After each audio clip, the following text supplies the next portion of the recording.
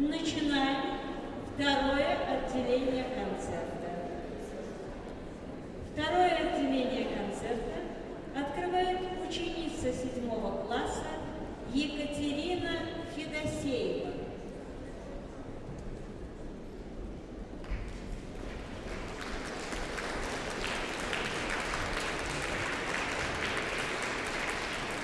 Шопен «Три